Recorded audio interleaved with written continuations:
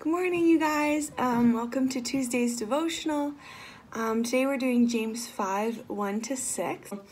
Let's start today's devotional, shall we? Dear Lord, strengthen my ability to hear you knock. Soften my heart that I may open the door.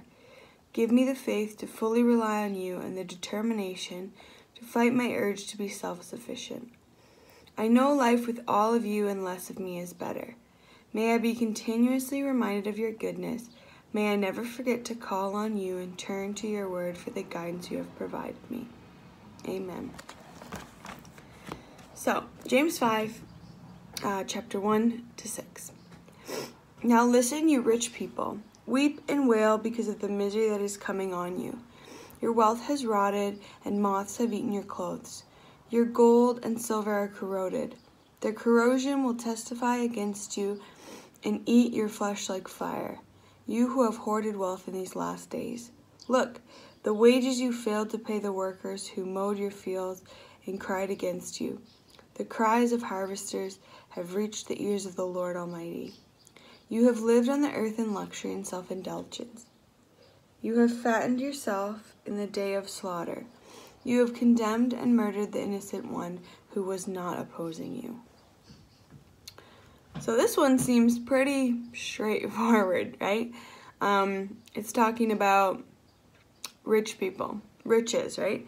Um, I think that one thing that we need to remember when we read this is that um, money is not the problem. Uh, it's we need money, right? We need money to live.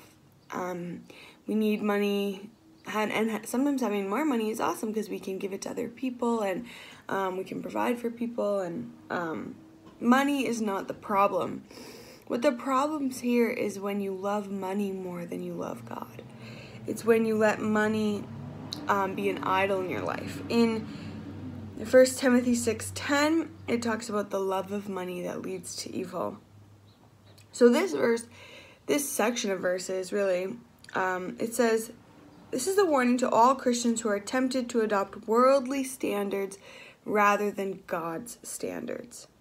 Um, you can read more about that in romans 12 as well as an encouragement to all those who are oppressed by the rich. So you can read matthew 6 19 to 21 to see what jesus says about riches. So um, yeah, to me, this was pretty straightforward. Just a good reminder. Like, I think when we read these, we can be like, okay, sick. So, like, don't want a lot of money. Awesome.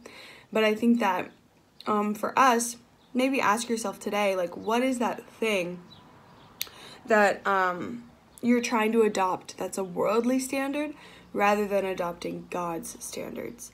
Or what is that thing that you're valuing more than you're valuing God? Um, or what is that thing that you're you're chasing that will eventually just corrode and um, not be eternal right? So for some of us it's money. For some of us it's other things. So don't just read this verse and go oh well i'm not rich so this isn't my problem.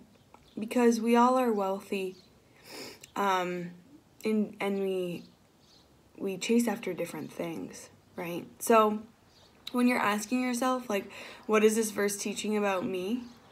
Really think about beyond just money. Um, what are earthly things that you are chasing or that you are seeking satisfaction from? So, um, yeah, that's that. Um, yeah, I don't really have anything else to say about this verse, honestly. Um, I want you guys, as always, ask this yourself. What's this verse teaching you about um, God? What does this teach you about people? Um, and what is it teaching you about yourself?